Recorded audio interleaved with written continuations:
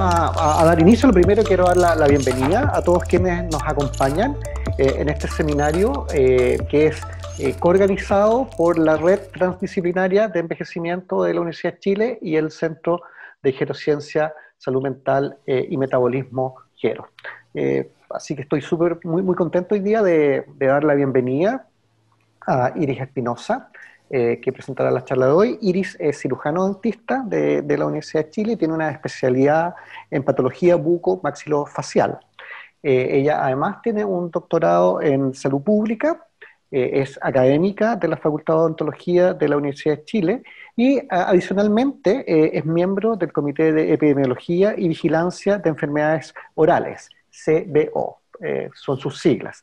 Por lo tanto, es, muy experta en, en, un tema que es es de, profundamente interesante en términos del, impacto que tiene sobre el envejecimiento, ya que eh, la salud oral eh, no es solamente un proxy sobre cómo envejecemos, sino que además es un determinante de cómo envejecemos. Por lo tanto, creo que, lo, que lo que Iris tenga para contarnos el día de hoy va a ser muy revelador en términos de, de cómo eh, el, mantener la salud bucal en, un segmento de la sociedad que, es el que nos interesa, el de las personas mayores, eh, eh, es no solamente un problema eh, de interés, sino que además puede tener profundas repercusiones sobre, sobre, sobre cómo, cómo, cómo, envejecemos. Por lo tanto, estamos muy, muy contentos de tenerte hoy, Iris, y nada, bienvenida. Muchas gracias, Cristian, Macarena y a todos los miembros de GERO a los asistentes. Eh, bueno, la presentación la hemos titulado Salud bucal en personas mayores, un desafío multidimensional. Eh, ¿Por qué es importante la salud en personas mayores? Ustedes lo conocen muy bien y la, el aumento de la esperanza de vida que ocurrió del año 50, que era 55 años en Chile, a los años 2015, donde ya superamos los 80 años, es un impacto y un desafío tanto para la salud general y entre esto también para la salud bucal. 2.800.000 personas son adultos mayores en Chile y el mayor porcentaje de carga de enfermedades son enfermedades crónicas. Y esto es bien importante que las enfermedades bucales son enfermedades crónicas no transmisibles en su mayor número. Cosa que esto ha cambiado porque en un comienzo se pensaron que eran infecciosas, pero la verdad que la mayoría son crónicas no transmisibles por su comportamiento y la forma de desarrollarse.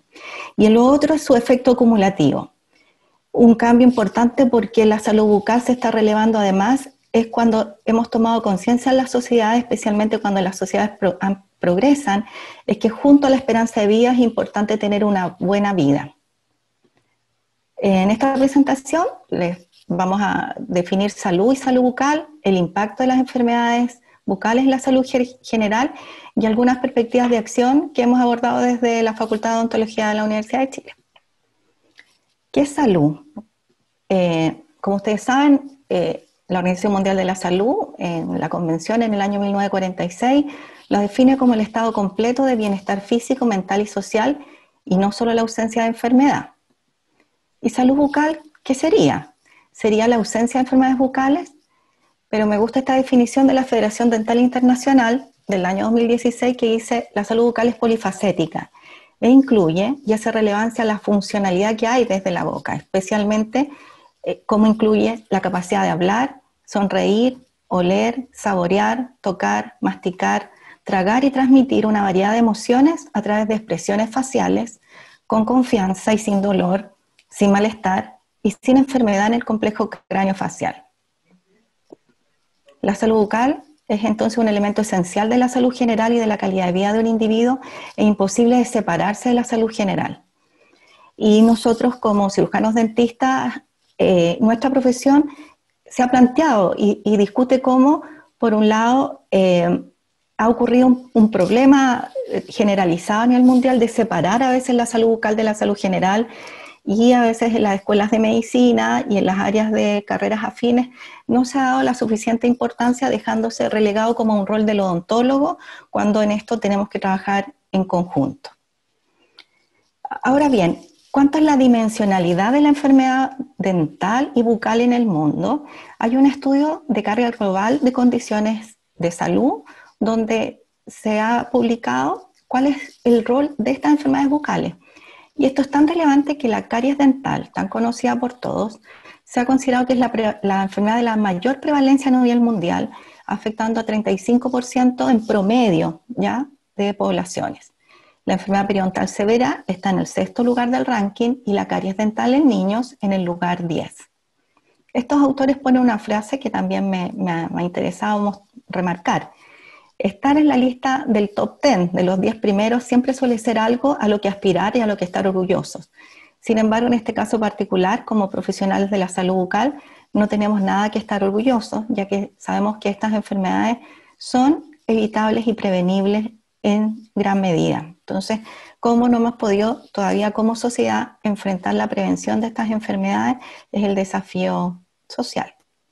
Ahora, para hablar de las enfermedades bucales, quiero comentarles cómo estas afectan durante el ciclo de vida y darles algunos ejemplos de su, su incidencia y su prevalencia. Las enfermedades bucales pueden partir desde el momento del nacimiento, como una enfermedad congénita, como estamos demostrando ahí con una labio leporino y paladar fisurado, que incluso puede detectarse prenatal.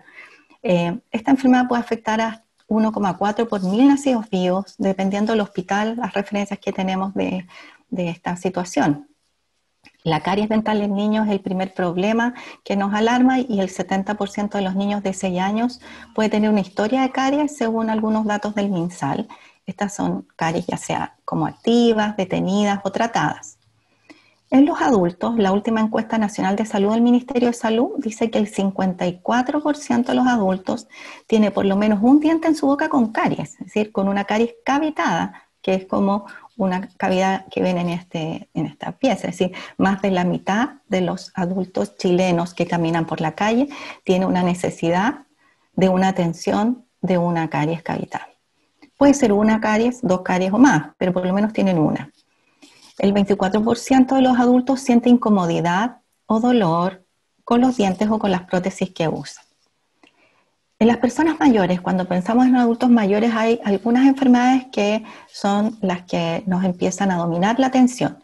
La enfermedad periodontal, que es esta enfermedad inflamatoria crónica que afecta a los tejidos que afirman el diente en el hueso o tejidos de soporte dental, afectando el periodonto y luego el hueso y provocando la retracción de los tejidos gingivales, la exposición de las raíces dentales y luego hasta la pérdida del diente pueden tener los adultos mayores hasta un 81% de la población un diente con una pérdida de inserción marcada.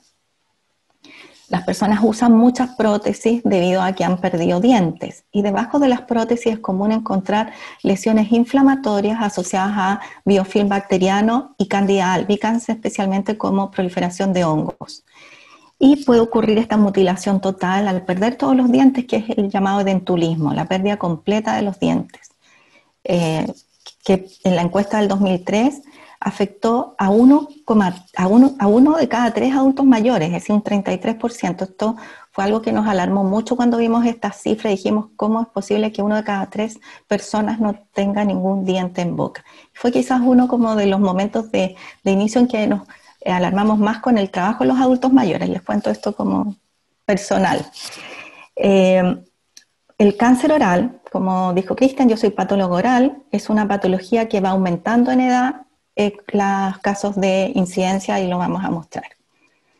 Ahora, debido a esta pérdida dentaria, es muy común el usar prótesis dentales, como ya les comenté. El 65% usa prótesis, 80%, 81% tiene menos de 20 dientes en boca. Es importante conocer que eh, hay dientes que a veces se pueden perder, los terceros molares, los premolares por ortodoncia, pero el llegar a un número de 20 dientes es el mínimo, que tienes una buena calidad de vida, buena selección de nutrición según varios estudios. Entonces, por lo menos se aspira a llegar como persona mayor a tener un número de 20 dientes en boca. Y esto ha sido promovido por la, eh, la OPS y como políticas de salud como en Japón. Algo importante con los dientes es recordar que hay concepciones equivocadas sobre la pérdida dentaria. Eh, el imaginario, el visual, cuando un artista quiere representar a una persona mayor, normalmente va a hacer dibujos como esto, va a tomar estas fotografías, en las cuales se ve un adelantamiento de la mandíbula, una disminución del tercio inferior de la cara y un colapso de los labios cambios clínicos que son productos de la pérdida dentaria. Y esto es porque es cierto que las personas mayores tienen menos dientes, pero no es cierto que los dientes se pierdan por el envejecimiento en sí mismo, sino por enfermedades que se van acumulando en el tiempo y por la falta de acceso a tratamiento odontológico. La vejez es causa la pérdida de dientes. La falta, hace algunos años, un estudio que fue realizado en Nueva Zelanda se titula La epidemia del entulismo en Nueva Zelanda, pero la verdad que es una una pandemia más bien que una epidemia, porque en la gran parte de los países se ve que la falta de acceso a la atención dental y una aceptación difundida tanto en la profesión odontológica como en la sociedad general a la pérdida dentaria han contribuido a lo que ellos denominaban la epidemia del entulismo en adultos mayores en su país. ¿ya? Eh, aquí puse un sillón dental antiguo y todos tenemos esa imagen también de que gran parte de las prestaciones que hacía el odontólogo era la extracción dental. Y esto fue en un comienzo debido porque no había desarrollo tecnológico ni adecuadas medidas de prevención. Pero posteriormente se desarrollaron estas medidas, pero el traspaso a una eh, acceso a toda la población a las medidas de prevención y a, tratamientos no mutiladores como es una extracción dentaria, todavía es un paso que falta para, desarrollar. En Chile, eh, un trabajo que hizo una encuesta preguntó a las personas mayores cómo habían perdido sus dientes. Las perdían principalmente por caries y en segundo lugar por enfermedad periodontal. Y esto es importante como desde el punto de vista estadístico. Fuertes asociaciones no siempre implican causa. Cuando hacemos estudios transversales y vemos esta fuerte asociación, en los adultos mayores hay mucha pérdida dentaria, pero la causa no es la vejez, ¿ya? Podemos encontrar jóvenes aquí en la provincia de Santiago, en la región metropolitana, que pueden haber perdido todos sus dientes en el maxilar superior, por ejemplo, como este joven, y tener menos dientes que una mujer de 98 años de edad. Eh, esta característica tan grande del eventualismo en Chile y, nos, hizo preocuparnos sobre cómo estaba esto marcado, relacionado con indicadores sociales. Eh, y hace algunos años tomamos los datos de la encuesta nacional de salud y ordenamos a todos los individuos según su número de años de educación. Se habían estudiado cero años, un año, dos, tres, o habían terminado la educación media, o tenían años de educación universitaria o de postsecundaria. Y si ordenamos estos individuos según el promedio de dientes remanentes, pueden ver lo que se ve en este gráfico, una gradiente, una, una una gran y, interesante gradiente, donde por cada escala de años de educación adicional, en promedio los individuos tenían más dientes en boca. Este, esta situación, graficándola entre un individuo hipotético ubicado en la escala más baja social, medía para esta encuesta con el número de años de educación y el individuo que tenía mayor número de años de educación nos daba un valor de una pendiente de 18,7 dientes en promedio, es decir, eh, así de grandes y tan cercanos estos 20 dientes mínimos que necesitamos por una función es lo que vemos a nivel poblacional que puede haber entre personas de distintos grupos socioeconómicos. ¿ya? Si separamos por grupos de edad, estas pendientes son más marcadas en los adultos que en los jóvenes, porque los dientes se van perdiendo con la edad, el efecto es acumulativo y el impacto social así también lo es. Esta otra prueba, además de esto de preguntarle a las mismas personas cómo han perdido sus dientes, es otra más de que la pérdida dentaria no es fisiológica y que afecta en forma diferencial a las personas de diferentes grupos sociales y no es causada como causa esencial por el envejecimiento. Puede modular en algunas situaciones, pero no es la causa principal. ¿Y por qué los dientes son importantes o no son importantes? Es decir, cada vez la, investigación y, conocíamos de esto, pero ya se ha, estudiado más, no era muy estudiado la verdad anteriormente, es cómo la imagen de la situación bucal y dental influye en aspectos como la autoestima, por ejemplo. Una imagen personal derivada del estado de la dentadura repercute en los niveles de autoestima, lo que a su vez genera una pérdida de interés en prácticas sociales. Eh, personalmente me tocó trabajar en unos estudios de calidad de vida en adultos mayores en la provincia de Santiago y como observadora podía ver cómo las personas, algunas se limitaban cuando no tenían su dentadura o se tapaban la boca y no participaban en las actividades sociales, en las interacciones en grupo debido a la pérdida dentaria. La pérdida dentaria o, también eh, problemas dentales eh, se ha estudiado desde estudios desde marketing como eh, un cambio de color que no es el más óptimo, es observable, contribuye a juzgar a las personas como menos inteligentes, pobres, de clase social baja, que tuvo padres desocupados, con ocupaciones de menor categoría o poco atractivos físicamente, provocando lo que yo considero como un estigma, ¿ya? Eh, y que quisiéramos eh, sentir que es un derecho tener una buena dentadura como durante toda la vida.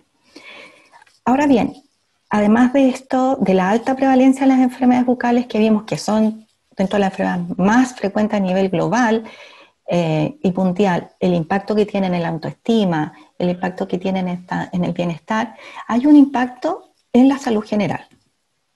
Em, las lesiones de la mucosa oral es parte del espectro que hace la especialidad eh, odontológica que yo tengo y es el estudio de cambios en la mucosa oral que pueden ser eh, desde lesiones reactivas, inflamatorias, inmunológicas, neoplásicas, algunas variaciones de la normalidad y neoplasias benignas y malignas. Hace algunos años nos, preguntamos, sabemos cuánto hay de caries, cuál es la prevalencia de enfermedad periodontal, pero cuánto es la prevalencia de lesiones de la mucosa oral. E hicimos un estudio epidemiológico en la provincia de Santiago, citando un examen bucal a personas que estaban en control en los programas de enfermería, tanto de ISAPRE como de FONASA, y les hicimos este examen clínico. Ahí detectamos que el 53% presentaba en el, momento del examen clínico por lo menos alguna lesión de la mucosa oral. ¿Y cuáles eran las más frecuentes? La estomatitis subprotésica, que ya les hablé, esta lesión inflamatoria bajo el área cubierta por una prótesis, a pequeños tumores, lesiones tumorales que de todas maneras siempre requieren biopsia para confirmar que no sean lesiones inflamatorias benignas o puedan ser neoplasias, varices orales y lesiones blancas por trauma, queratosis friccional. Estas eran las cuatro más frecuentes, pero había un sinnúmero de lesiones y algunas que son muy relevantes, por ejemplo, líquen plano y leucoplasia, que afectan al 2%, al 1,7% de la población, son desórdenes potencialmente malignos que pueden convertirse en cáncer en un porcentaje de los pacientes y que requieren el control clínico. Aquí están unas fotos de estomatitis subprotésica, como hay tártaro, como hay biofilm bacteriano en la prótesis y se asocia esta inflamación. Esto es indoloro, el paciente no lo nota, tiene que examinarse con un espejo en un autoexamen o ir al médico, al odontólogo para que lo detecte y le pueda dar las indicaciones que son mejorar la higiene de los aparatos protésicos, sacarse ojalá las prótesis en la noche, hacer un control con el dentista para volver a ajustar esa prótesis que ya es antigua y que producto de la atrofia del hueso ya se ha soltado. A veces los pacientes no conocen cómo hay que limpiar las prótesis. Su dentista les puede informar, lo olvidan. Eh, podemos ver que existe todavía un tabú respecto al uso de prótesis. Si ustedes ven el marketing de las pastas dentales, los cepillos de dientes, normalmente es para jóvenes o para niños con dentaduras perfectas, pero no con situaciones de dentición parcial, como es la verdad el promedio de la población. Así que son indicaciones y educación que no tenemos mucha ayuda desde la parte eh, publicitaria. Ahora, una mala higiene oral, como vemos al tener estomatitis subprotésica o biofilm bacteriano, enfermedad periodontal, puede tener un efecto en la salud general y algunas de las situaciones eh, que se están estudiando y más importantes es la probabilidad de que microorganismos bacterianos desde la cavidad oral y oreofaringe sean aspirados y se relacionan con la neumonía asociada a ventilación mecánica, que se dan puede afectar hasta un 10 al 30% de los pacientes que reciben ventilación mecánica, que es una complicación de ese proceso en que está ese paciente. Hace algunos años se hizo una revisión sistemática evaluando eh, distintos estudios que habían hecho pruebas de eh, uso de antisépticos para controlar pacientes hospitalizados y se observó que el uso de la clorexidina como parte de la higiene oral en la unidad de cuidado intensivo puede reducir la incidencia de neumonía por aspiración. En, en los hospitales existen odontólogos, pero exactamente en las unidades de cuidado intensivo no hay odontólogos, sino que ahí está a cargo de la enfermera y el médico estos cuidados. En algunos países, como en Brasil, se creó una especialidad que se llama dentista de hospital, que trabaja en esta relación y dando indicaciones a pacientes que están en condiciones más graves de hospitalización o en UCI. Aquí todavía no existe esa especialidad. Ahora, no solo es el cuidado para el paciente que está en UCI, sino que también ahora algunos estudios recientes están evaluando que también personas que están eh, viviendo en comunidad, que no están eh, hospitalizados, pueden tener más riesgo de neumonía cuando debajo de sus prótesis tienen biofilm bacteriano, cuando no hacen una adecuada limpieza de sus prótesis. Así que es algo eh, que controlar. Ahora, aquí están los cuatro aspectos eh, de salud general que más se han involucrado con los problemas de salud bucal. Y anoté como de izquierda a derecha los que tienen más evidencia científica eh, y más, más investigación. Y el primero es la diabetes. La relación entre diabetes y enfermedad periodontal se ha observado que es bidireccional y que el paciente que recibe un tratamiento de enfermedad periodontal, ese tratamiento contribuye a mejorar sus niveles de hemoglobina glicosilada y su glicemia. Por otro lado, un paciente que tiene diabetes descompensada, aun cuando el odontólogo le haga un tratamiento odontológico clínico, el de limpieza, de higienización, no responde y mantiene inflamación si continúa con su diabetes descompensada. Por eso ambos deben trabajarse en conjunto. La relación de enfermedad periodontal con riesgo de patologías cardiovasculares se describió hace ya varios años eh, cuando encontraron bacterias dentro de ateromas gingivales y especialmente cuando se ha observado que la situación de tener una enfermedad periodontal que puede llegar a ser una inflamación, que si se midiera el total del ligamento periodontal que está inflamado en todos los dientes puede ser se, ha estimado como, como 10 centímetros de extensión de área, es una inflamación constante que uno tiene y un contacto de biofilm y de respuestas de interleuquinas que obviamente traspasan a la sangre y tienen efectos sistémicos en mayor o menor grado. La maligina el riesgo de neumonía y lo más reciente que se está analizando desde distintos ámbitos es cómo el menor número de dientes obviamente limita cómo nos alimentamos, los alimentos que seleccionamos y contribuye a que selecciones una dieta más blanda, menos fibrosa, que son, por otro lado, indicaciones que da muchas veces el médico, tiene que comer frutas, tiene que comer verduras, pero una paciente no puede comer manzanas, no puede comer, como se ve aquí, un choclo con mantequilla, porque tiene problemas con sus dientes. Esta selección debido a menor número de dientes, puede provocar deficiencia en la nutrición y también el impacto masticatorio, una disminución en la irrigación cerebral que ha sido estudiado por ahora en ratones y que se está evaluando como posibles hipótesis también para trabajar el tema en humanos. El cáncer en la cavidad oral les conté que, es una patología que aumenta en las personas mayores. Y algo que nos impacta en la población es que muchos no conocen que existe el cáncer bucal. Eh, nosotros hace algunos años preguntamos en una encuesta nacional de salud si habían escuchado del cáncer oral y aproximadamente un 30% dijo que había escuchado. Pero si haces esa misma encuesta en Inglaterra, en Estados Unidos, en India, el 80 al 90% de la población ha escuchado sobre este cáncer. Por otro lado, a veces cuando preguntamos, ¿usted ha escuchado el cáncer oral? La gente dice que sí. Algunos dicen, es la enfermedad que se pierden los dientes. A veces hay confusión de qué es realmente el cáncer de la boca. El cáncer de la boca es una neoplasia maligna que afecta el epitelio de revestimiento, eh, que comienza aquí en el epitelio, en este epitelio que se recambia constantemente, donde agentes que provocan mutaciones em, empiezan a sumarse y alterar este epitelio. Los factores más importantes es el tabaco y el alcohol y para la zona de orofaringe el virus papiloma humano. Y su manifestación es muy diversa, como úlceras, como tumores, como inflamaciones en la encía, como lesiones verrucosas, como gran extensión de tumores. Esta última foto muestra un caso que me facilitó un colega del Instituto Nacional del Cáncer, porque lo llamativo que nos dicen los oncólogos de cabeza y cuello es que la mayoría de los tumores de cabeza y cuello lo tienen publicado, se llegan en etapas avanzadas de 3 centímetros con ganglios linfáticos ya de compromiso por diseminación de la neoplasia. Entonces hay un diagnóstico tardío. Todas estas etapas ya son avanzadas en general de cáncer. Hay un problema de que en la boca hay muchas lesiones, las personas se muerden, las personas tienen aftas, tienen herpes, tienen lesiones que no son eh, de una tanto problema, algunas resuelven solas, eh, como las lesiones tipo aftas o úlceras recurrentes orales, pero ese número de complicaciones bucales hace que cuando hay una lesión de úlcera verdadera de o las personas no consultan. Aquí tengo unas fotos de un artículo, una úlcera en la mismo lado, en la lengua, que es traumática, que tiene un borde blanquecino, que al especialista le permite evidenciar que es traumática y esta otra úlcera que tiene bordes indurados y que ya es un cáncer oral.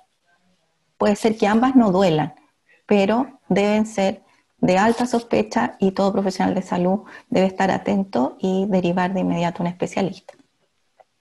El cáncer oral va aumentando en incidencia, como muchas de las neoplasias eh, malignas que afectan especialmente a los epitelios de revestimiento, eh, ya sea pulmón, piel, por esta exposición continua de nuestras vidas a agentes carcinógenos. El promedio de edad de diagnóstico del cáncer oral es cercano a los 63 años, especialmente hombres son más afectados que mujeres. Y un problema adicional es el diagnóstico eh, del cáncer oral en etapa avanzada y su supervivencia. A los 5 años de diagnóstico del cáncer oral, nosotros hemos determinado una supervivencia de solo 34% y a los 2 años de 48%. Esta supervivencia tan pobre afecta en mayor medida a las personas mayores que tienen una supervivencia. Entonces, más cuidado tenemos que tener en adultos en el diagnóstico temprano y en el tratamiento precoz de estas patologías. Aquí están fotografías clínicas de mucosa oral de lesiones que se llaman trastornos potencialmente malignos.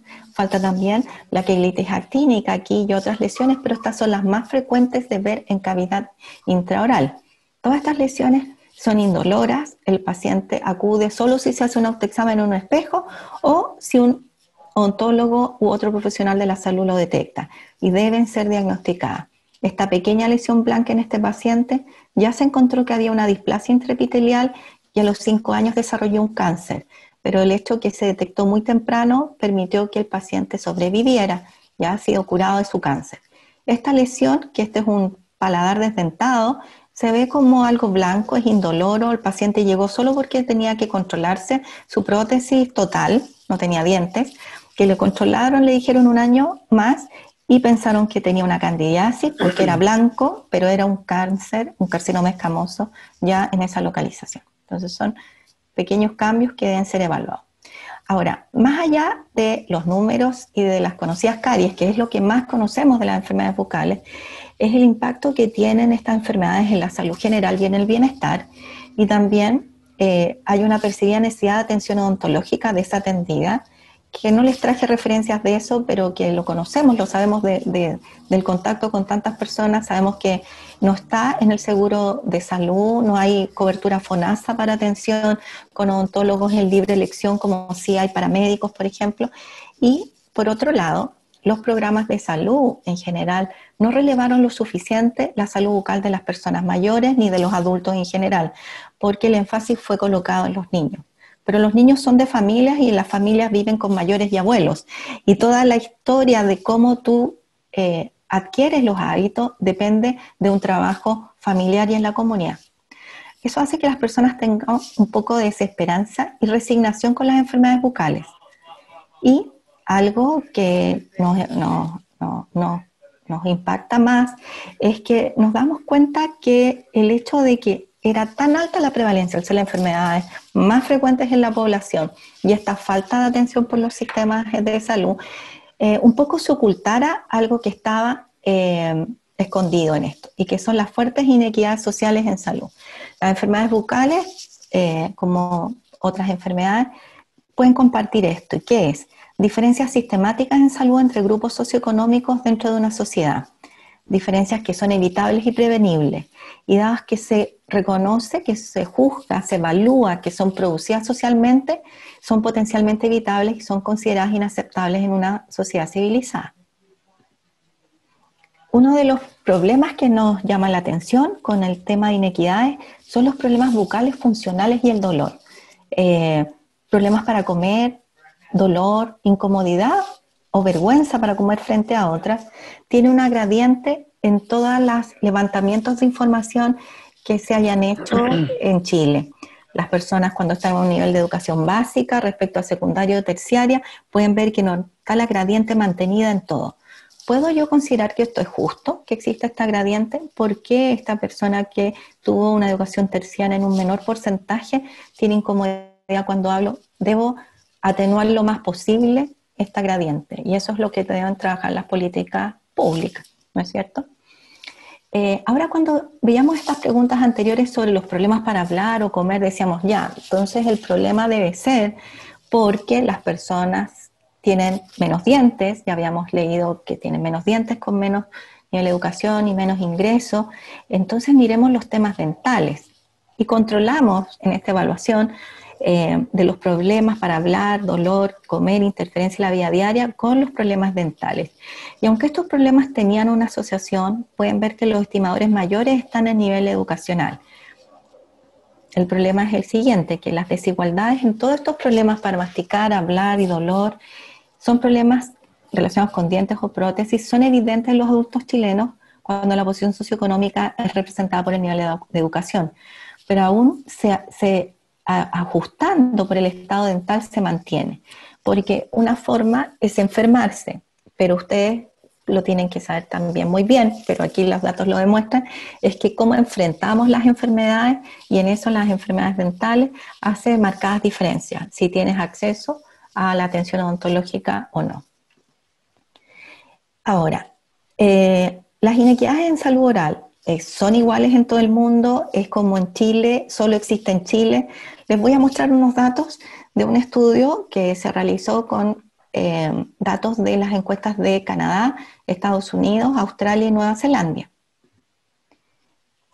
Estas cuatro, estos cinco países tenían encuestas en años similares, eh, como la encuesta nacional de salud que tenemos acá, que llamamos en la tercera encuesta, y evaluaron algunos indicadores de examen clínico dental. Aquellos indicadores que eran eh, los mismos en cada país fueron los que evaluamos, por eso tenemos solo dos indicadores dentales. Eh, aquí están las tres encuestas, había una leve proporción mayor de mujeres que hombres en todas las encuestas, y la promedio de edad. Aquí no solo eran adultos mayores, eran adultos en general. Les marqué acá en rojo algo que es algo interesante de marcar. Pueden ver cómo en la educación más baja la proporción en todos los países es mucho menor que lo que tenemos en Chile en la proporción de adultos. Es decir, todavía tenemos un fuerte desafío en mejorar el acceso a educación en nuestros adultos de toda edad. Y aquí están los resultados de los cinco países en cuanto a caries no tratada, tener por lo menos en la boca un diente con una cavidad de caries dental. Todos los países tienen caries, todos los países tienen gradientes sociales en las cuales están en el nivel más bajo de nivel eh, socioeconómico, que aquí se usó como proxy, el nivel educacional, el último año cursado, tienen eh, mayor problema. En todos, en todos, en todos, en todo existe esta gradiente. Las inequidades no solo ocurren en Chile, ocurren en todos los países. Pero aquí vemos cómo Chile tiene eh, una prevalencia mayor de caries no tratadas que todos estos países de comparación. Ahora, la prevalencia de tener menos de 21 dientes en boca, es decir, tener 20 dientes, ya dijimos que era un límite para tener una buena función bucal.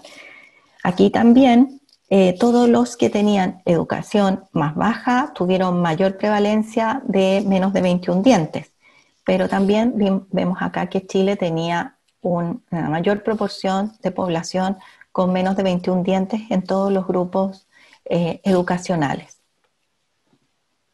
Ahora, ¿por qué nos preocupan estas inequidades, estas gradientes que vemos en todo problema dental que hemos estado analizando? Nos preocupan y preocupan porque hace que las personas que están en una desventaja social se mantengan así, sean niños, sean adultos, sean personas mayores.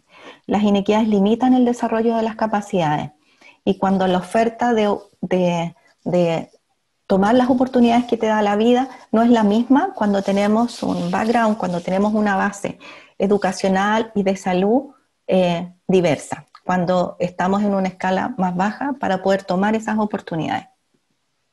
La salud bucal presenta importantes inequidades, son un marcador de posición social de las personas y del riesgo de enfermedades futuras. Por eso, eh, Macarena nos puso este nombre en la presentación y decidimos que el fenómeno tiene un carácter multidimensional.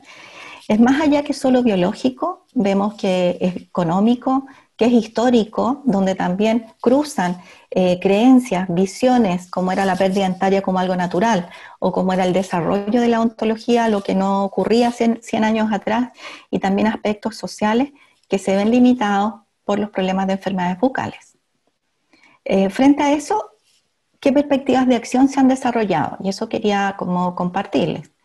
Eh, el año 2012-2013, el doctor Marco Cornejo me, invitó y junto con un grupo de colegas desarrollamos unos simposios de desigualdades en salud bucal, porque las enfermedades bucales normalmente la gente dice casi el 100% de las personas están afectadas o el 70% de los niños están afectados, pero ese dato promedio oculta las importantes gradientes en, los grupos sociales. Con eso... Eh, promovimos el trabajo, la conversación y el diálogo desde juntar personas que trabajan en el Ministerio de Salud, académicos de distintas universidades, junto con eh, personas que eran dirigentes comunales de las comunas que trabajan con la Facultad de Ontología, todos ellos dentro de las dependencias de la facultad. Y promovimos esa, esa, reflexión. Eh, también eh, publicamos un, un, texto donde se dan elementos teóricos y herramientas metodológicas para medir estas desigualdades en salud bucal y cuáles indicadores de salud bucal son los más relevantes, donde hemos en adultos y adultos mayores estamos convencidas que la pérdida dentaria es el principal marcador de acumulación de daño y a lo que tenemos que aspirar como sociedad a disminuir esa pérdida dentaria. En el año 2017 se crea este Centro de Epidemiología y Vigilancia de las Enfermedades Orales. Llevamos muy poquito en esto. Eh, que es lo que tiene como objetivo contribuir a mejorar el bienestar y calidad de vida de la población, aportando con información que pueda eh, contribuir al desarrollo de políticas públicas. Tenemos varios focos de, desarrollo, eh, salud oral, niños, nutrición, inequidades, eh, la relación con enfermedades cardiovasculares, y aquí hay varios académicos, no solo de la Facultad de Ontología Universidad de Chile, también de la Facultad de Medicina Universidad de Chile, de la Universidad de Talca eh, y eh, es, un, es, un, grupo que está en, en, desarrollo y en convenios también con otros centros. En el año 2018 también hay como otro hito que es el doctor Jorge Gamonal. Eh, se adjudica un proyecto en el que yo soy la investigadora alterna y varios del grupo de, de CBO participan. ¿Y cuál es el plan de este proyecto? Es diseñar e implementar el examen dental preventivo del adulto mayor, que hemos denominado EDPAM, que se orienta a complementar un examen médico preventivo que existe actualmente en uso en el sistema público de salud, en los CEFAM, que es hecho por la enfermera, por el médico nutricionista. Este examen médico es muy importante porque evalúa aspectos cognitivos, de funcionalidad y las enfermedades crónicas que tienen las personas, pero tiene olvidada la salud bucal. No aparece. Entonces, la salud bucal eh, consideramos que debe relevarse y por eso se trabajó en este diseño. Este diseño incluía desde, desde planificar qué hacerlo, para eso se hicieron varias reuniones, revisiones bibliográficas del tópico y un trabajo a través de, una metodología IDELFI con expertos nacionales e internacionales para decidir qué parámetros odontológicos de salud bucal evaluar y también cómo medirlos. En este momento está en desarrollo eh, la prueba de este examen y eh, va a ser parte del piloto en la comuna de Cerro Navia, gracias a la colaboración del doctor Claudio Suazo, que también es coinvestigador del proyecto. Y esta es la clínica móvil y el trabajo que, se está haciendo allá. Ahora, algunos aspectos que notamos que hay que seguir desarrollando y que eh, algunos ofrecimientos que también pueden ustedes tener si tienen interés. Eh, colaboramos con la Universidad Católica en un documento de cuidados para las personas mayores y en el aspecto de salud oral. Eso está de libre disposición y eh, es para, para, diseñado para personas que no son expertas, pero son cuidadores eh, no, no, formados como técnicos paramédicos. y ahora, algo que está justo, justo en esta semana en desarrollo, es un curso para odontólogos que trabajan en la atención primaria de salud, en este momento para odontólogos del Centro de Salud Occidente, sobre el uso de este EDP. Aquí, por ejemplo, la funcionalidad evaluada a través de un chicle. Tiene varias cosas novedosas este eh, examen dental preventivo odontológico. Y bueno, para terminar, les quiero comentar de un policy paper, que es eh, un tema, que fue el último trabajo que se estuvo desarrollando gracias a la colaboración eh, total de la Vicerrectoría de Investigación y Desarrollo de la Universidad de Chile. Eh, la red transdisciplinaria sobre envejecimiento, donde también participan varios de GERO, convoca a más de 50 académicos de distintas facultades y nace como una propuesta institucional para posicionar la sociedad y la vejez en temas de derechos de las personas. Una de las estrategias que se desarrolló fue construir policy paper, documentos que buscan ser instrumentos propositivos para discusión y desarrollo de propuestas con la potencialidad de impactar en la agenda pública. Aquí Pablo Riveros y Jacqueline, coordinadores y moduladores para que esto se llevara a cabo. El policy paper de salud oral en personas mayores está en este diagrama y les cuento cómo fue su generación. Para, esa, para la generación se, invitaron distintos actores sociales, desde eh, personas que participan en programas de organizaciones de personas mayores, de, grupos de personas de jubilados, de juntas de vecinos, junto con eh, gente de Senama, que tiene cargos directivos, académicos no de la Facultad de Ontología exclusivamente, sino de distintas facultades. Eh, aquí, por ejemplo, la doctora es de la Facultad de Arquitectura, eh, las profesoras de matemáticas del INTA, eh, y junto con ellos también podemos ver, por ejemplo, recuerdo ella era cuidadora de un ELEAM de adultos mayores, terapeutas, personas que trabajaban al directo cuidado de personas mayores en organizaciones como fundaciones, todos en la misma mesa para co-construir y sobre todo para un poco dejar de hablar como académicos y escuchar lo que los otros tenían que decir sobre cómo podíamos pensar en mejorar la salud oral de las personas mayores. Eh, el trabajo fue súper emocionante, eso, la verdad que eh, fue muy bonito. Y la, la forma de trabajo fue dando lluvias de ideas y ordenándolas con esta metodología, si había, tenían impacto bajo, medio o alto, y si veían que esto podía ser de baja, media o alta factibilidad, donde el, mismo grupo eh, dimensionaba los recursos que podían ser necesarios, eh, la capacidad logística, eh, la cantidad de actores que requerías para hacer un cambio radical en algún punto y se iban moderando donde se iban colocando estas evaluaciones un grupo de antropólogos sociales recogió la información de todas las mesas de trabajo y fue ordenando y construyendo eh, el documento que fue revisado por todos los grupos de participantes. Aquí les traje dos comentarios de las, entrevistas que le hizo una periodista para una noticia. Por ejemplo, la Fundación Las Rosas, la hermana Gloria Grande, que era ella, se manifiesta complacida de participar en la representación de un centro que atiende a 76 adultos mayores, por lo que el tema le pareció muy interesante y relevante porque es lo que ella vive a diario y el cuidado bucal es algo muy importante y lo ejercemos dentro del hogar. Ella comenta que lo cuidan y que lo ejercen, pero recuerdo que comentaba las dificultades que le generaba a ella cuando una persona mayor tenía que ir en forma presencial al hospital o al CEFAM porque tenían un cuidador a veces para cinco personas mayores, entonces perder a un cuidador era una sobrecarga de trabajo para los demás y eso podía provocar alguna desatención. Aunque lo hacían, consideraban cómo esto podía buscar forma de ayudarles a tener un cuidado que no les impactara en las horas de cuidado para las otras personas. Eh, aquí un representante de un senador, porque también fue invitada a la Comisión de Salud, felicitó a la universidad por la participación y por este apunte, ¿no? Y me gusta esta frase, dice, generalmente se comete un error de analizar los temas de manera muy teórica, muy dogmática, y aquí hay mucha experiencia, conocimiento y habilidad, aportes que tienen que fluir para instruirnos en la realidad existente y considerarlo como un elemento para la construcción de políticas públicas.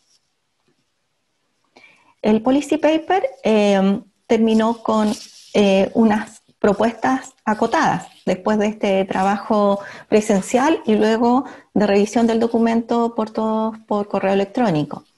Eh, en cuanto a políticas de salud oral integral con enfoque preventivo, fue algo que se reconoció que debe ser durante todo el curso de la vida, que no, no es deseable programas parcelados de acceso a atención odontológica que suben atención preventiva, sino una política de salud oral centrada en la prevención en el curso de vida y incluso eh, como preventiva, como un derecho en todas las edades. La capacitación a los cuidadores. Los cuidadores decían que muchas veces no tenían elementos, herramientas, que en sus cursos de formación no contaban con eso, entonces necesitaban mayores si se puede usar flúor, eh, si se puede cepillar con agua si está acostada la persona, eh, pequeños detalles, pero que son importantes para el cuidado de una persona que a veces puede tener problemas de disfagia y problemas de control de la dilución. Un plan transversal de formación, difusión y educación con carácter comunitario y territorial. La falta de educación sobre estas enfermedades bucales sabemos que todavía existe, a pesar de ser las más prevalentes. Y esto quisiéramos que ojalá esté en todos los textos de la educación básica y educación media. Eh, a veces los niños de kinder saben más que un niño de quinto básico sobre salud bucal, porque en el preescolar está, muy metido este cuidado y se va perdiendo esta información que debe ser siempre eh, insistirse, adecuarse e incorporarse desde la biología, desde la genética, desde la microbiología con mayores herramientas. El segundo punto era el aumento de la cobertura. Eh, en, la, atención odontológica, los adultos tienen cobertura limitada, especialmente en FONASA, diseñada para personas de escasos recursos, mujeres jefas de hogar y algunos garantías GES odontológicas, que son el una es por ejemplo el GES de urgencia, el GES de embarazada y hay un GES del adulto mayor, pero que es el GES de los 60 años. Y solo las personas cuando tienen 60 años, durante ese año, tienen acceso a esa cobertura. Eso hace muy limitado el acceso. Muchas personas a los 60 años están plenamente activas trabajando, no tienen oportunidad de pedir permiso y atenderse en esta edad y eh, las variedades de, necesidades y la demanda necesitamos que, que se amplíe esa cobertura a un mayor número de años. Otro punto es potenciar la atención domiciliaria que está desarrollando el Ministerio de Salud, pero que todavía es incipiente en las municipalidades. Para eso se requieren equipos móviles, eh, ya sea clínicas dentales móviles, pero también pueden ser equipos móviles portátiles más fáciles. Y elaborar un plan de atención y seguimiento, porque varios de los programas odontológicos tienen actividades preventivas y una rehabilitación oral importante, pero se tiene que aumentar como la canasta de prestaciones a la mantención de los pacientes luego de tener acceso a esta atención dental a los 60 años. Desarrollar herramientas de diagnóstico, eh, incorporar el examen oral preventivo, así como existe un examen eh, en PAM preventivo, también que exista, podría ser el EDPAN o podría ser otro, pero que existe un examen oral preventivo en las personas mayores, en eh, la formación profesional, mejorar y aumentar la formación en, pregrado y en especialización con los temas de odontogeriatría y una investigación y evaluación para la toma de decisiones. Eh, ojalá eh, se proponía dentro de esto fondos específicos para la investigación en salud en personas mayores y sobre todo planes de evaluación de costo-efectividad de acciones implementadas. Eh, como notamos que entre los programas y las políticas de salud que hay, el, el estudio de cómo ha impactado la salud oral, de cuáles son las mejoras que deben realizarse, las modificaciones por el paso de los años, por el cambio en la transición demográfica, epidemiológica, de cómo debe impactarse, eso eh, es más débil, ya eso es mucho menos.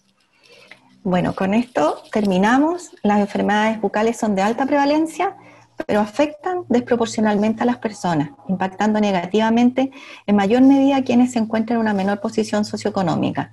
Sus efectos van más allá de las funciones bucales y a la salud general y al bienestar. Y eso es lo que, los mueve y, por eso doy las gracias bueno, a Cristian y a todo el equipo por la invitación. Eh, la salud bucal no podemos hacernos cargo los dentistas solos, tenemos que trabajar en equipos, queremos trabajar en equipo, tanto para los aspectos asistenciales como para también la investigación. Eh, que no quede desvalorizada, no evaluada esta importante parte del cuerpo humano para el funcionamiento y para el bienestar.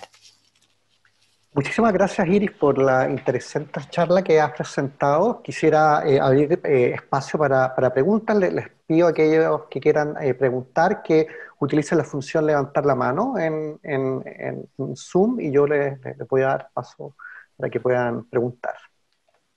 También pueden, si quieren, eh, compartir preguntas en el chat y yo las puedo leer, como, como sea más, más, eh, más cómodo. Voy a partir por una pregunta que hay en, el chat eh, de Marco, y Marco pregunta acerca de la existencia de, un plan nacional para mejorar las prácticas en relación a las ayudas ortodónticas, particularmente el uso de prótesis dentales adecuadas.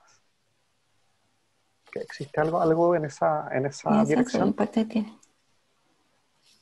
Eh, yo no tengo información, Marco, sobre eso. Si tú tienes y nos cuentas de, tratamiento de ortodoncia, no, tengo información para adultos mayores. Mientras Marco se, conecta, eh, le pido entonces a Soraya, ¿tiene un, comentario? Si puedes activar el, el micrófono, sí. Hola, Cristian. Hola. Eh, felicitar a Iris por porque, bueno, nos conocemos, fuimos compañeros de universidad y estamos trabajando ahora juntas en el CBO, ¿verdad? Eh, bueno, y apoyar, por supuesto, toda la propuesta que hace Iris en esto del equipo interdisciplinario y ojalá eh, instaurar un poco más este componente vital en la salud sistémica. Y solo el comentario respecto a lo que mencionaba Iris de la formación de recursos humanos, la, que sabemos que en Chile no existe la especialidad, pero comentarles que ya estamos casi terminando todo el trabajo con el Ministerio de Salud y probablemente el 2021 ya se reconozca la especialidad en Chile. Así que eso va obviamente a mejorar mucho las características, las condiciones de, interacción y del desarrollo de recursos humanos, como mostraba el, policy paper que mencionaba Iris, de que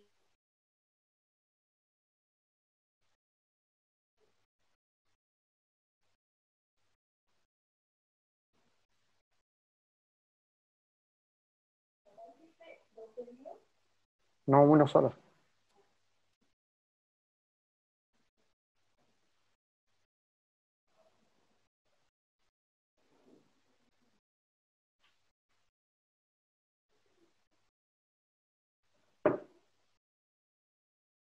ciertas prestaciones que puede hacer eh, el asistente dental y la higienista dental especialmente, especialmente la higienista dental puede hacer unas, algunas atenciones de educación, de higiene, el diagnóstico de todas maneras lo hace el odontólogo.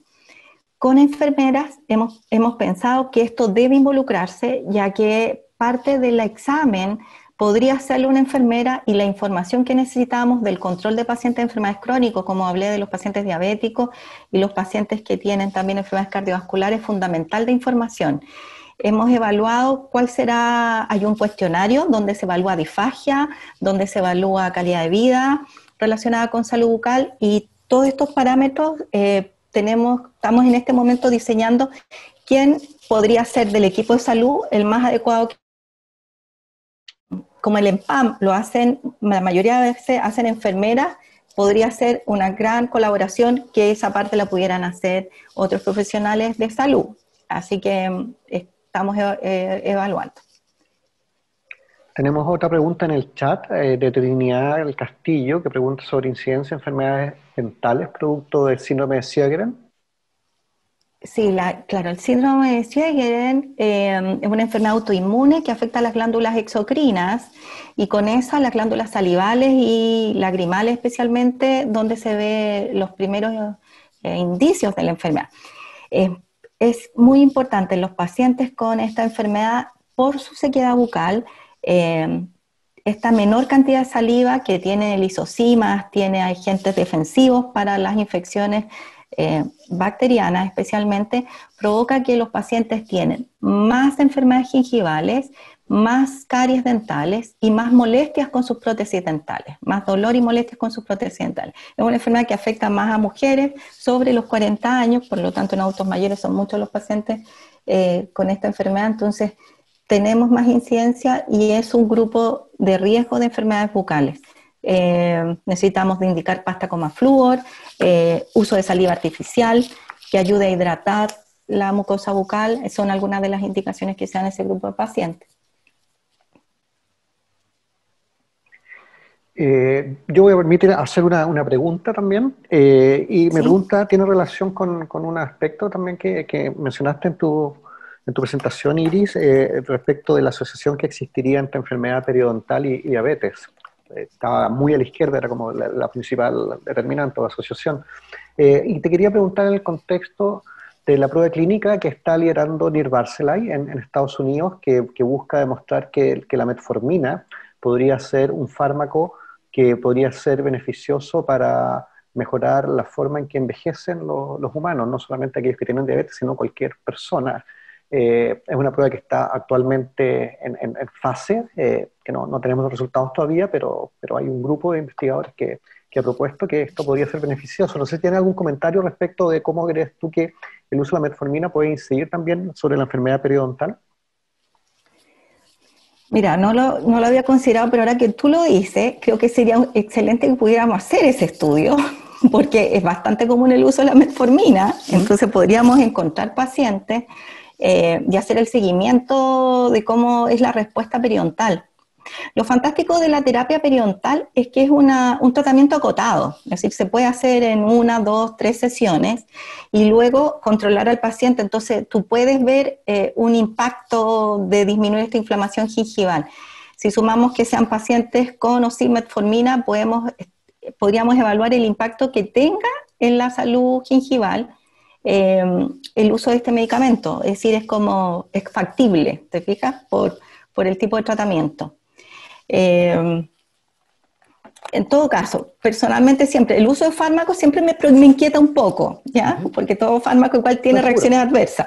Pero en la medida que es una, es una terapia médica indicada para algunos casos, creo que eh, sería bueno investigarlo. Eh, eso es lo que te puedo comentar. Tenemos todo, es factible. Suena bien, sí. Tenemos, tenemos dos preguntas eh, que se relacionan con, con hábitos. Eh, una es de Alejandra, que pregunta la frecuencia recomendada para los controles de salud oral en personas mayores, y otra de Susana, que pregunta acerca de la efectividad de los enjuagues con clorexidina en adultos mayores para mantener la higiene oral. Ya, eh, gracias por las preguntas. Mira, respecto a los controles en personas mayores, ¿qué te cuento?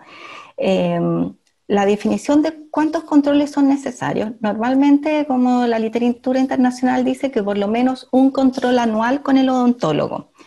Pero lo que eh, vemos por la práctica es que esto no se puede dar como una receta para todos, porque hay personas que requieren controles más periódicos y hay personas que incluso un año de control puede no ser necesario porque tienen excelente control de higiene bucal, especialmente en personas jóvenes. Eh, por lo tanto, dentro del EDPAM, uno de los del examen que estamos, en el trabajo del diseño, uno de ellos es definir perfiles de riesgo. Hay un perfil de riesgo bajo, medio y alto. Basado en esos perfiles de riesgo, también van a hacer la serie de controles, porque una persona que tiene una enfermedad periodontal requiere controles por lo menos antes de los tres meses, evaluar según su grado de severidad si está bien o no. Entonces depende de qué enfermedad tiene y cuál es su grado de control. Te puedo decir, por ejemplo, que si un paciente tiene una leucoplasia, que es una mancha blanca en la boca, que tiene riesgo de convertirse en cáncer entre un 1 a un 20% de los casos, no pasa en todos los casos, eh, por estudio se ha determinado que debe ser cada seis meses. Si tienes una leucoplasia, cada seis meses debes ir al odontólogo especialista para que te controle. Si tienes enfermedad periodontal, va a depender, y eso es lo que estamos diseñando, cuántos perfiles de riesgo podemos ordenarnos. Para algunas personas va a ser cada tres meses, para otras va a ser una vez al año. Y para otras, como te cuento, incluso podría ser hasta menos, pero eh, depende de, la, de qué enfermedad esté.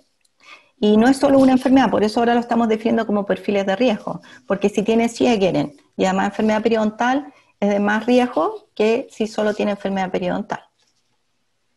Respecto a la clorexidina? Ah, respecto a la clorexidina, eh, la clorexidina es un complemento terapéutico de control de higiene oral, eh, no, con indicación. La clorexidina, si se usa por más de 15 días, provoca tinciones en las mucosas, los dientes, alteración del gusto. Eh, y lo mejor es solo con buen cepillado, cepillo interdental. Sin embargo, para situaciones eh, precisas, por ejemplo, cuando este paciente está en UCI y no le pueden hacer un buen cepillado, la complementación con clorexidina sí es útil, como el caso que les mostré. Pero en una persona que está eh, autovalente, no es necesario usar la clorexidina a diario, solo cuando sea indicado para un tratamiento periodontal normalmente, complementario en una etapa del tratamiento periodontal, pero no como mantención. Como mantención, higiene bucal, cepillo dental y cepillo interdentario que es fundamental. Tenemos tiempo para una última pregunta. Eh, Simón. Oriana pregunta acá o... Vamos a ir con Simón que tenía la mano levantada. Ah, Hola, eh, Iris, muchas gracias por la presentación, realmente muy completa. Estoy maravillado con la cantidad de información que hay disponible. Eh, me quedé con una duda respecto de algo que ha estado apareciendo mucho, que son las clínicas de implantología. Eh, yo soy de formación fonoaudiólogo, entonces me he fijado que hay cada vez más y hay cada vez más prácticas de implantólogos en, en el medio y no sé si hay formas de saber si eso es beneficioso en algún grado o sea medido el impacto que tiene, por ejemplo, hacer una implantología temprana. Eh, me imagino que eso eventualmente podría afectar la masticación y tener un impacto más de largo plazo. Sí. Gracias. Sí, gracias. Mira, los, los implantes dentales, la implantología dental igual revolucionó la odontología, es decir, eh, lo ideal es no perder los dientes, siempre mantenerlos, pero eh, se ha evaluado, yo participé en un estudio, un proyecto FONIS hace algunos años, de personas cuando han perdido todos los dientes y tú colocas una sobredentadura sobre dos implantes, el cambio en la eficiencia masticatoria, el cambio en cómo la persona percibe su capacidad para masticar, para hablar, es rotundo. Es decir, frente a casos eh, de de limitación bucal porque han perdido todos sus dientes, eh, el uso de implantes dentales o dentaduras sobre implantes en la mandíbula es la mejor opción de tratamiento. En el maxilar superior es más cuestionable porque hay pacientes que tienen buen hueso y pueden usar prótesis removibles sin dificultad y funcionar y hablar sin problema. Sin embargo, de todas maneras, la prótesis sobre dentadura eh, te mejora, por ejemplo, la capacidad del gusto y la masticación porque no cubre todo el paladar. Entonces hay ciertos beneficios y de todos modos eh, es, un tratamiento muy útil que mejora la eficiencia masticatoria, que mejora la retención de prótesis. Eh, un gran problema de los que usan prótesis es en la mandíbula, porque es más rápida la atrofia del hueso y más difícil de mantenerse en boca. Así que... Vamos a finalizar. Eh, tenemos un último comentario que, quizás puedes, eh, tomar, eh, Iris, que es de Oriana, que, dice que con la aparición de problemas motores, artritis y otros, a muchas personas mayores se les dificulta ejecutar correctamente su higiene oral y que eso se ve en la práctica clínica.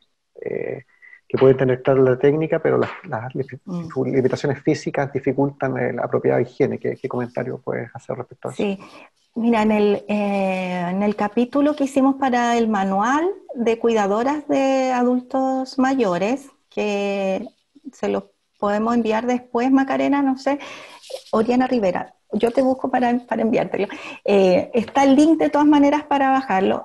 Dado unas recomendaciones y yo puse chiquitito, no hablé de eso, pero puse un cepillo de dientes que tenía como negro, no sé si lo vieron, un debajo del manual. Eso tenía una manilla de, de bicicleta, ¿ya?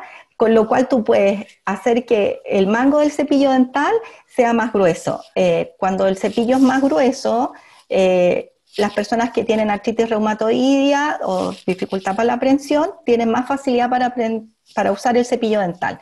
Eh, hay algunos diseños que han salido en el mercado, pero después los han sacado, entonces no hay mucha constancia en eso, entonces se pueden hacer adaptaciones caseras para el cepillo dental para mejorar el cepillado. También se puede usar un cepillo eléctrico y hay personas que tienen limitaciones mayores y también hay recomendaciones de cómo situarse con el paciente para, hacerse, para hacerle el cepillado dental, cómo ponerse detrás de él, eh, cómo hacer la técnica de cepillado eh, y, hay, hay, material sobre eso, de cómo, cómo dar recomendación.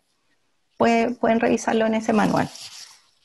Muy bien, muchísimas gracias. Quiero Quiero vamos a cerrar ahora porque estamos en la hora. Quiero agradecer a toda la gente que se conectó. Quiero agradecer también los comentarios, las preguntas, una, excelente exposición.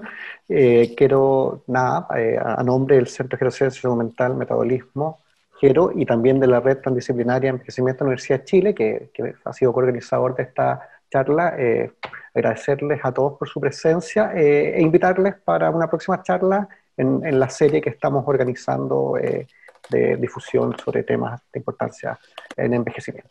Muchas gracias, Iris, por tu charla. Gracias, Cristian. Gracias a todos por unirse al seminario, por la posibilidad de este diálogo eh, tan enriquecedor, tan rico y porque estoy segura que, claro, todos los que están acá fuertemente están comprometidos con cómo mejorar la salud y la vida durante los mejores años de la vida, dice. Así que...